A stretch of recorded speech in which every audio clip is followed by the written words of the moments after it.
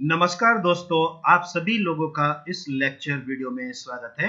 आज हम non parametric test में क्रुस्कल वेलिस टेस्ट और फ्रीडमैन एनोवा के बारे में डिस्कस करेंगे। दोस्तों, जैसे हम लोग सभी जानते हैं कि ये जो टेस्ट है, हमारा क्रुस्कल वेलिस टेस्ट ये बिल्कुल एनोवा की तरह ही है और एनोवा का एक तरीके का सब्सटीट्यूट भी हम कह सकते हैं। जैसे हमारे अगर एज्यूम्सन्स फुलफिल नहीं होते हैं एनोवा में, जैसे ये एनोवा हम सेवरल जो मीन्स है उनको कंपेयर करते हैं। जब इसके एनोवा के एज्यूम्सन फुलफिल नहीं होते, तब हम इसी के equivalent Kruskal Wallis test use करते हैं। तो क्रुस्कल वैलिस टेस्ट में, जैसे यहाँ पर लिखा है more than two samples more than two sample का मतलब है कि हमने अपने पूरे डेटा को, उसको सेवरल uh, कैटेगरीज में और वो जो कैटेगरीज हैं म्यूचुअली एक्सक्लूसिव कैटेगरीज में हमने डेटा को डिवाइड किया ठीक है? और फिर हम हर एक डेटा का मीन निकालेंगे ठीक है? चूँकि ये नॉन पैरामेट्रिक टेस्ट है इसलिए यहाँ पर हम लोग मीन रैंक को कंपेयर करेंगे। ऑर्डिनल डेटा होगा और ये जो हमारा अगर डेटा कॉन्टिन्यूस स्केल का भी है तब ये इसको ऑर्डिनल डेटा में कन्वर्ट करके रैंक बनाने के बाद उसको अलग अलग कैटेगरी की मीन में कन्वर्ट कर देगा और उस मीन को हम कंपेयर करेंगे। और वो देखेंगे हम कि ये मीन में सिग्निफिकेंट डिफरेंस है या नहीं है। अगर मान लीजिए हमारी P value point zero five से ज़्यादा आ जाती है, तब हम कहेंगे नॉन सिग्निफिकेंट कोई इसमें कोई डिफरेंस नहीं है। अब इसके लिए जो हम एक केस स्टडी ले रहे हैं छोटी सी केस स्टडी है, जैसे ये हमने लिखा है। केस स्टडी का नाम है इसमें कॉफ़ी केस स्टडी को समझ लेते हैं पहले? Scientist had discovered that cafe consumption link to higher heart rate ठीक है? कॉफ़ी जो है, उससे हायर रेट हो जाता है हमारा हार्ट रेट का। और इसमें हमने 40 पार्टिसिपेंट्स लिए और इनको स्प्लिट किया है हमने फोर ग्रुप्स में और उनको कॉफ़ी कंजम्पशन के बारे में हम जानना चाहते हैं। तो पहला जो ग्रुप है कंट्रोल ग्रुप है, उसमें हमने कोई मैनिपुलेशन नहीं किया। इनको हमने कोई कॉफ़ी नहीं दी पर डे के हिसाब से। और एक मंथ का ये हमारा एक्सपेरिमेंट है। फिर हमने सेकेंड ग्रुप को वन कप कॉफ़ी के लिए बोला पर डे के लिए। और जो थर्ड ग्रुप है, उनको हमने two copy coffee per day और लास्ट का जो फाइनल है, उनको हमने कहा कि आपको चार कप कॉफ़ी पर डे के हिसाब से पीनी तो ये जो प्रोसेस है हमने पूरा वन मंथ के लिए मेजर किया और उसके बाद हमने हार्ट रेट स्कोर अपने सभी 40 पार्टिसिपेंट्स का मेजर किया। हम बेसिकली ये जानना चाहते हैं कि जो हमारे 40 पार्टिसिपेंट्स हैं, इनको हमने फोर ग्रुप में डिवाइड किया 10 पार्टिसिपेंट्स 10 पार्टिसिपेंट्स 10 पार्टिसिपेंट्स और 10 पार्टिसिपेंट्स जो पहले 10 पार्टिसिपेंट्स हैं, उनको हमने कोई कॉफ़ी नहीं दी और एक महीने तक हमने उनको कंट्रोल ग्रुप में रखा मतलब उसमें कोई मैनुपुलेशन नहीं किया। जो सेकंड ग्रुप है, जिसको हमने कहा कि जो टेन लोगों का ग्रुप है, उनको वन कॉफ़ी पर डे पीना है और जो थर्ड ग्रुप है टेन पर्सन का उनको हमने कहा है कि टू कॉफ़ी और जो लास्ट का जो फोर टेन जो रेस्पोंडेंट है उनका जो ग्रुप है वो उनको कहा हमने कि आपको रोज़ाना तीन कप कॉफ़ी पीनी है। ठीक है ना? तो ये जो है आ, इसमें देखिए sorry one cup two cup और फोर कप जो चौथा ग्रुप है उनको हमने फोर कप कॉफ़ी के लिए कहा है। पहला ग्रुप में हम देख रहे हैं जो टेन हमारे रेस्पोंडेंट है उन को हमने कोई कॉफ़ी नहीं पिलाई है। और उनका जो स्कोर है पहला जो रेस्पोंडेंट है हमारा पार्टिसिपेंट्स उनका हार्ट रेट स्कोर 62 है। दूसरे वाले पार्टिसिपेंट्स का 81, 93, 65 इस तरीके से ये हमारे पास जो 10 पर्सन है इनका हार्ट स्कोर आ गया जिनको हमने कॉफ़ी नहीं पिलाई है। ठीक है? दूसरा ग्रुप है ये देखिए जिन्होंने वन कॉफ़ी पर डे पी है टेन पर्सन का। उनका हार्ट रेट स्कोर 75, 68, 99 इस तरीके से है। और जो हमारे पास तीन जो थर्ड ग्रुप है जिनको हमने कहा है कि टेन जो हमारे पार्टिसिपेंट्स हैं उनको टू कॉफ़ी पर डे पीना है। और उसके बाद उनका हमने एक महीने के बाद हार्ट रेट सब लोगों का लिया है। ठीक है उनका हार्ट रेट स्कोर आया है। 62, 78, 84 इस तरीके से। और जो लास्ट का ग्रुप है उसको हमने कहा है आपको फोर कॉपी पर डे पीनी है और उनका जो हार्ट स्कोर हमने देखा 110, 105, 95 इस तरीके से ये स्कोर है। तो दोस्तों एक तो हमें ये समझना है कि ये जो है हमारा कैटेगरिकल डेटा है जिसमें हमने नॉमिनल स्केल में लिया है डेटा को और इसको हमने कोडिंग की है वन टू थ्री फोर ठीक है? दूसरा जो डेटा है वो हमारा स्केल में है, जिसमें हार्ट रेट हम मेजर कर रहे हैं अपने रेस्पोंडेंट का या पार्टिसिपेंट्स का। तो इस तरीके से ये जो डेटा है, एक ही जो ग्रुप है 40 पर्सन का, उनको हमने फोर म्यूचुअली एक्सक्लूसिव कैटेगरी में डिवाइड कर लिया। इनका कंट्रोल ग्रुप बनाया, इनका सेकंड ग्रुप बना, जिनको वन कॉफ़ी इस तरीके से थर्ड और फोर्थ ठीक है तो केस स्टडी बिल्कुल क्लियर है। अब हमें जो करना है इसमें, वो पहले हम एजम्पन देख लेते हैं, क्योंकि डेटा हमारा मेट्रिक है तो हम देखना चाहते हैं कि क्या इसके जो एजम्पन हैं, वो फुलफिल हो रहे हैं या नहीं। तो डेटा की हम नॉर्मेलिटी और होमोजेनिटी चेक करेंगे, क्योंकि होमोजेनिटी हम इसलिए कर सकते हैं कि जो हमारे पास फोर कैटेगरीज है, उसमें डेटा का वेरिएंस किस तरीके से हो रहा है, वो कांस्टेंट है अक्रॉस द ग्रुप या नहीं है, ठीक है? तो ये हमने देखा एक्सप्लोर में हम लोग गए और कॉफ़ी कंज्यूमशन को हमने कैटेगरिकल वेरिएबल है क्योंकि इसको फैक्टर लिस्ट में डाला। और ये जो हार्ट रेट स्कोर है, ये हमारा डिपेंडेंट लिस्ट में क्योंकि ये हमारा कॉन्टिन्यूस स्केल में है रेशो स्केल में हमने ये डेटा लिया है। अब देखिए, इसमें हमें केवल नॉर्मेलिटी प्लॉट और जो लिव इन टेस्ट है, इसी को हमें लेना है। इसके बाद हमने इसको कंटिन्यू किया। कंटिन्यू करने के बाद हमारे पास ये जो रिज़ल्ट आएँगे ओके करने के बाद, ये हमने ओके किया। ओके करने के बाद हमारे पास ये आउटपुट आ गया है व्यूवर विंडो में। ये देखिए। यहाँ जो पहला केस प्रोसेसिंग समरी है, इसमें नो कॉफ़ी मतलब जिनको हमने पर डे कोई कॉफ़ी नहीं दिया, वो टेन लोग हैं। One cup coffee ten percent है two cup coffee ten percent है four cup coffee ten percent है। अब आ जाते हैं हम अपना डेस्क्रिप्टिव स्टेटिस्टिक्स को देखते हैं। तो ये मीन वैल्यू है 81 हार्ट रेट स्कोर है वन कॉफ़ी वालों का 86 और टू कॉपी वालों का 81.30 और एक लास्ट का जो है, वो है हमारा वन ज़ीरो वन पॉइंट ठीक है? अब दोस्तों, हमें जो मेन चीज़ देखनी है, वो है नॉर्मेलिटी और होमोजेनिटी कि क्या हमारा डेटा नॉर्मल है या क्या हमारा डेटा होमोजीनियस है। अगर दोनों ही एज्यूम्स फुलफिल करेंगे, तभी हम पैरामेट्रिक टेस्ट लगा पाएँगे। अदरवाइज़ हम क्रॉसिकल वैलिस टेस्ट जो एनोवा के इक्वलेंट है, उसी को हम यूज़ करेंगे। तो दोस्तों, देखिए, ये जो हमारी पी वैल्यू आ रही है, ये पॉइंट ज़ीरो फाइव ये डेटा हमारा नॉर्मल है। और जो वन कप कॉफ़ी पिए टेन रेस्पोंडेंट ने या पार्टिसिपेंट ने, उनका भी डेटा नॉर्मल आ रहा है, ये भी नॉर्मल आ रहा है, ये भी नॉर्मल आ रहा है। तो कहेंगे डेटा में तो हमारी नॉर्मेलिटी है, क्योंकि जो पी वैल्यू है, वो पॉइंट ज़ीरो फाइव से बड़ी है, जो कि डिजायरेबल है पैरामेट्रिक टेस्ट के एजम्पन्स को फिलफिल करने के लिए। दूसरा जो बड़ा एजम्पन है, वो है होमोजिनिटी का। होमोजिनिटी की जो वैल्यू है हमारी लिविंग टेस्ट में, वो पी वैल्यू भी पॉइंट ज़ीरो फाइव से बड़ी होनी चाहिए। चूँकि ये वैल्यू हमारी पॉइंट ज़ीरो फाइव से कम है, इसका मतलब है कि डेटा हमारा होमोजीनियस नहीं है। ठीक है? तो एक पता इसका मतलब है कि जो एजम्पन्स पैरामेट्रिक के होते हैं, वो दोनों के दोनों फुलफिल नहीं कर रहे, जो मेन एजम्पन्स है। तो अब हम नॉन पैरामेट्रिक टेस्ट लगा सकते हैं, क्योंकि डेटा नॉर्मल और अगर होमोजीनियस होता, तभी हम लोग जो पैरामेट्रिक टेस्ट एनोवा लगा सकते थे।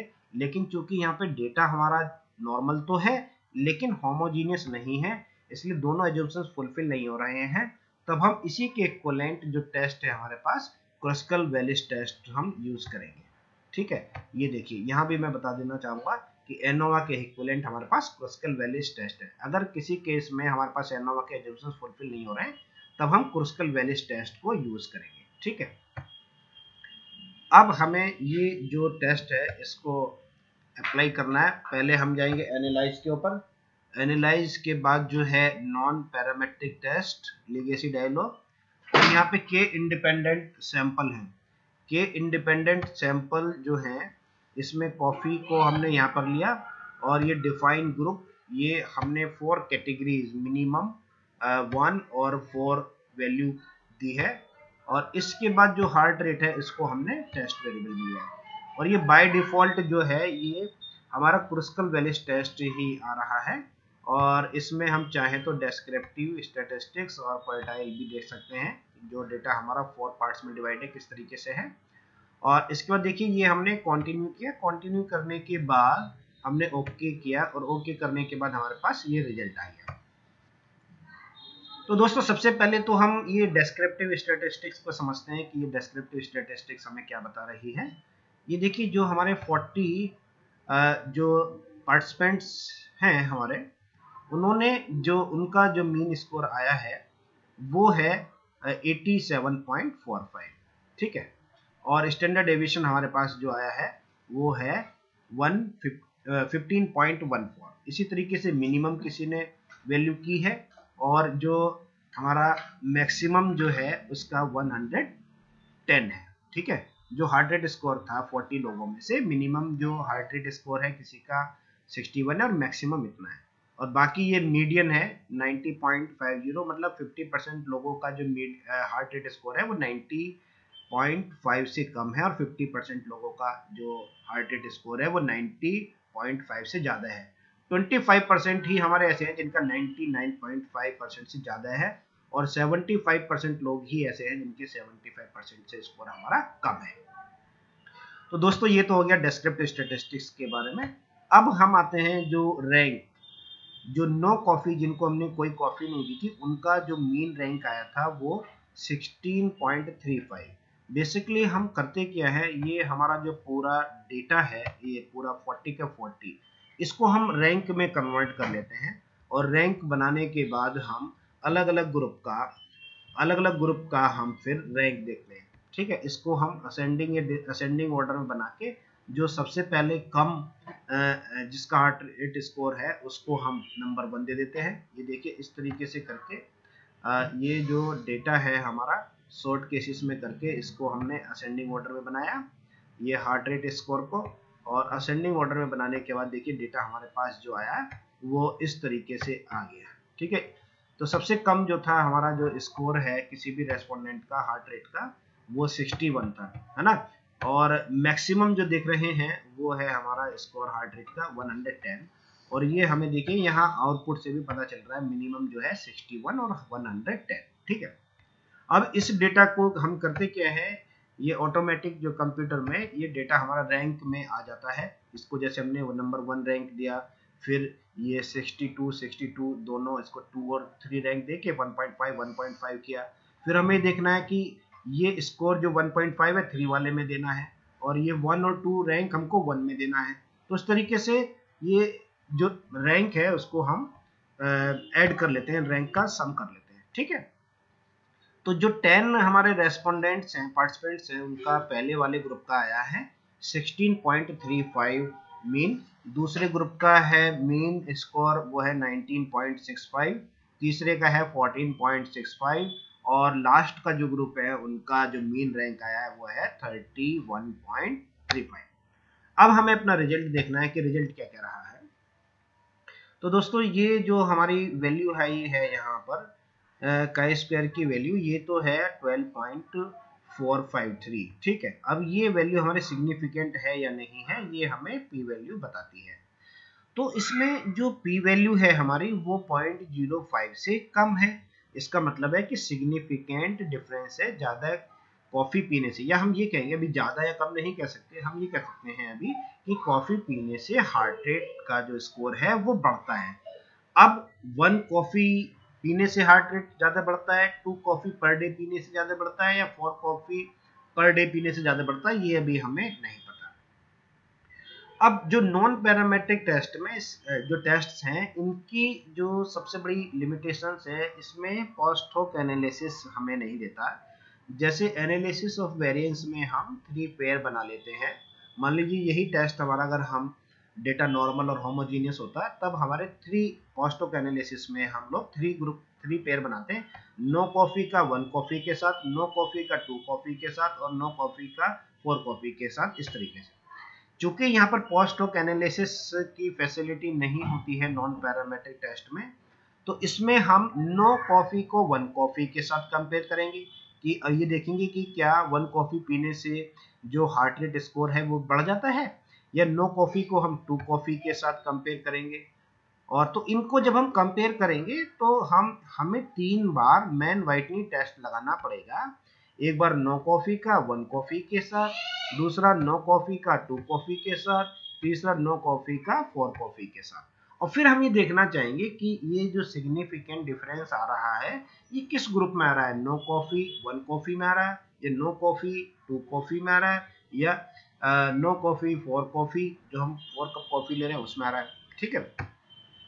तो दोस्तों इसके लिए हमें देखिए फिर से आ, जो सिग्निफिकेंट डिफरेंस तो पता चल गया, लेकिन ये नहीं पता भी किस ग्रुप में है, किस पेयर में तो ये हम इसको तीन बार दोबारा से टू इंडिपेंडेंट सैंपल मतलब मैन वाइटनी टेस्ट यूज़ करेंगे। ये आ गया हमारा कॉफ़ी कंज्यूमशन और ग्रुप वन में हमने दिया था वन और ग्रुप टू में टू है ना? अभी हम नो कॉफ़ी और one cup coffee per day के हिसाब से अपना डेटा ले रहे हैं और इसमें देखेंगे कि क्या सिग्निफिकेंट डिफरेंस आ रहा है या नहीं। और ये जो डेटा है, देखिए टेन जो पार्टिसिपेंट्स है हमारे, जिन्होंने कॉफ़ी पी है जिन्होंने टेन जिन्होंने नहीं पी है, ये रिज़ल्ट आ गया।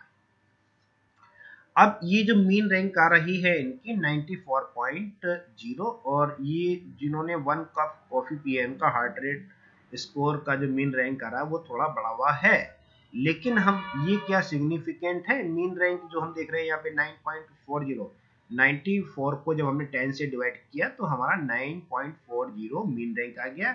और 116 को जब 10 से डिवाइड किया हमने तो वन कप कॉफ़ी का जो ग्रुप है, उनका मीन रैंक 11.60 आ गया। ठीक है? अब ये जो मीन रैंक है, ये क्या सिग्निफिकेंट है या नहीं है, ये हमें हमेशा बताती है पी वैल्यू। देखिए, जेड वैल्यू तो हमारी ये आ गई माइनस पॉइंट और ये पी वैल्यू है point four it is greater than point zero five इसका मतलब है कि कोई सिग्निफिकेंट डिफरेंस नहीं है। अगर हम one coffee one cup coffee per day पीते हैं तो उसमें कोई हार्ट रेट ज़्यादा हमारा इंक्रीज नहीं होगा। ठीक है? एक तो ये पता चल गया। तो वन कॉफ़ी नो कॉफ़ी और वन कप कॉफ़ी में कोई सिग्निफिकेंट डिफरेंस नहीं है। अब हम देखते हैं दूसरा पेयर बनाकर ये है टू इंडिपेंडेंट सैंपल चूँकि हमने बताया कि इसमें जो हमारा ग्रुप होगा वन कप कॉफ़ी और जो two cup coffee per day P रहे हैं उनका। ठीक है? तो वन और थ्री ग्रुप को हम कंपेयर कर रहे हैं और इस तरीके से यहाँ पर रिज़ल्ट आ गया हमारे पास, ये देखिए।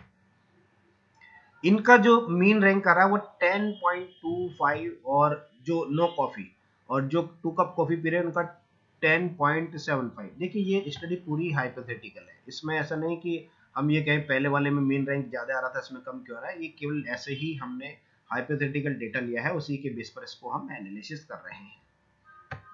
तो ये देखिए, कोई ज़्यादा सिग्निफिकेंट डिफरेंस हमें लग भी नहीं रहा, है ना? 10.25 और 10.75 अब देखते हैं इसकी जो वैल्यू है पी वैल्यू पी वैल्यू देखिए, हमारी है 0.850 again it is greater than 0.05 इसका मतलब है कि अगर हम टू कप कॉफ़ी भी पर डे पीते हैं तो उससे हार्ट रेट स्कोर नहीं बनता ज़्यादा नहीं बढ़ता है, ठीक है? अब तीसरा जो हमारा ग्रुप है, इस पर आते हैं हम। ये देखिए नॉन पैरामेट्रिक टेस्ट में ये हमारे पास आ गया है टू इंडिपेंडेंट सैंपल और यहाँ पर हम चेंज करेंगे वन को कंपेयर करेंगे फोर के साथ ये हमने फोर को एंट्री कर दिया ग्रुप टू में और कंटिन्यू किया। कंटिन्यू करने के बाद हमारे पास मैन वाइटली टेस्ट का रिज़ल्ट आ जाएगा, ये देखिए। अब यहाँ पर देखिए मीन रैंक काफ़ी डिफरेंट आ रहा है। 7.70 और ये 13.30 और जबकि फोर कॉफ़ी वाले का जो रैंक हार्ट रेट स्कोर है, वो ज़्यादा है। यहाँ देखिए सम ऑफ़ रैंक 77 और यह 133.0 और पी वैल्यू जो आ रही है, ये आ रही है 0.035 ये पी वैल्यू 0.05 से कम है। इसका मतलब है कि जो ये प्रोबेबिलिटी वैल्यू हमारे पास आई है 0.034 ये सिग्निफिकेंट रिज़ल्ट के बारे में बता रहा है कि अगर हम कॉफ़ी ज़्यादा पीते हैं, एक दिन में चार बार या पाँच बार तो हार्ट रेट हमारा बढ़ सकता है। ठीक है? तो दोस्तों, इसी तरीके से हम जो अपना जो रिज़ल्ट है अगर सिग्निफिकेंट रिज़ल्ट आते हैं, तब हम उसमें मेन मैन वाइटनिंग टेस्ट को लेकर कंपेयर करते हैं। और अगर सिग्निफिकेंट रिज़ल्ट नहीं आते तब फिर हमें मैन वाइटनी टेस्ट से आगे फर्दर एनालिसिस करने की कोई आवश्यकता नहीं है। थैंक यू दोस्तों।